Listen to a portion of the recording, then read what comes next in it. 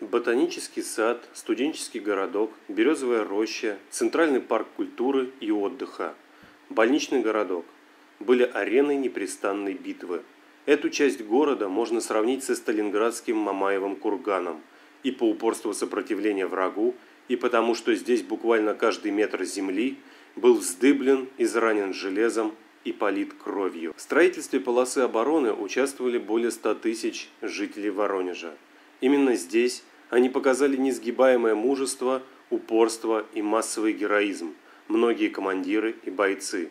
После изгнания оккупантов студенческий городок стал местом командных и наблюдательных пунктов, базой снабжения частей переднего края, сосредоточением резервов, перевалочной точкой при эвакуации раненых. Противник днем и ночью бомбил и обстреливал городок и продолжал увеличивать его разрушения. О войне в центральном районе напоминает множество братских могил, в том числе и братская могила номер 17. Братская могила находится на территории лесотехнической академии.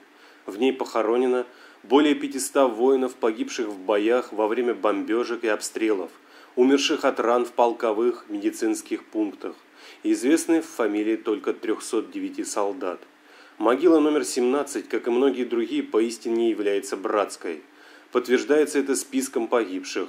Политрук Наескул Аразмалиев, Киргизия, заместитель политрука Самсон Багдасарян, Азербайджан, сержант Владимир Бестранов, Марийская ССР, ефрейтор Валей Гараев, Татария, красноармейцы Ишбула Абрахманов, Узбекистан, Шахамир Азалов, Дагестан, Александр Багарадзе, Грузия, Василий Воронов, Белоруссия, Иван Захаров, Чувашия, Николай Роженко, Украина, Агуби Хифанов, Осетия.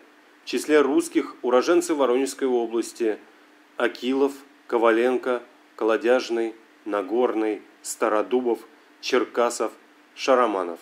Среди тех, кто первым лег в эту могилу, был красноармеец 425-го артиллерийского полка 232-й стрелковой дивизии Леонтий Иванович Стариков.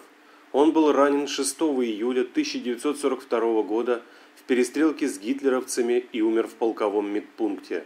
Последним был захоронен красноармеец Василий Павлович Веренеев из 209-го отдельного истребительно-противотанкового дивизиона 121-й стрелковой дивизии. Он погиб вечером 24 января 1943 года за несколько часов до перехода дивизии в решительное наступление – и полного изгнания фашистов из правобережной части города Воронежа. Составной частью сооруженного на братской могиле мемориала является пролегающая рядом траншея, железобетонный колпак огневой точки. Такие колпаки были установлены горожанами во многих местах оборонительной полосы. В 1975 году, к 30-летию победы советского народа в Великой Отечественной войне, была проведена реконструкция территории братской могилы – в 2013 году были проведены ремонтно-восстановительные работы и благоустройство прилегающей территории.